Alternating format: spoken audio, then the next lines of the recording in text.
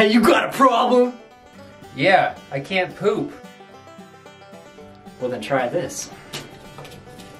Butt out. Butt out? Yes, butt out. It shoots the poop right out of your bottom. It's a bottom feeder. Is it better than V9? no! Alright, I guess I'll try it out. Alright, cool.